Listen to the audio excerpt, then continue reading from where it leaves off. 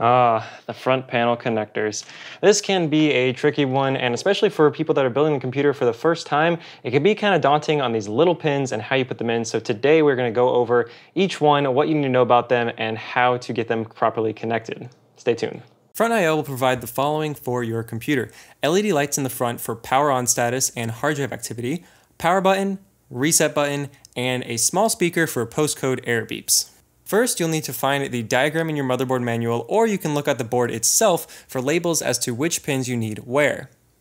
If you look at the end, you'll notice some have a small arrow or triangle on the right or left side. This will indicate the positive end to which you need to line up correctly on the motherboard pin for it to work. Each will have one positive tip and one negative. No need to worry though, if you plug these in backwards, nothing will get damaged. You'll just need to swap them once you notice it's not working. It can be hard to see, so I recommend starting with the back row. So once they're plugged in, it's not going to block any vision of the front row pins.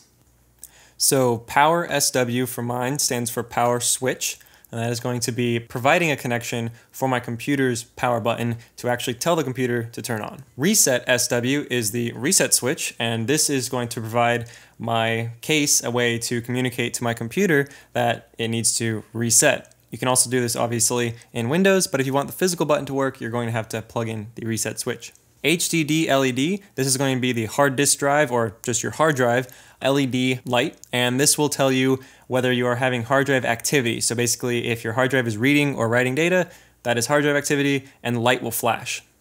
And Power LED actually is split into two on mine, and they are labeled negative and positive on the actual thing itself, so there is no need for an arrow here, and those are self-explanatory. Just like the hard drive LED, these just indicate whether the computer is on or not by providing power to the LED light. And lastly, the speaker is actually a separate component that should be in your motherboard box, and it just plugs in these four over here and you line up the arrow and that is it. And you will hear small little beeps from it in case of a POST code error. So if you have let's say faulty RAM perhaps you'll hear a certain beep combination and you can look up those beep combinations long short short for example and you can actually find out what is going on with your system what your system is not detecting.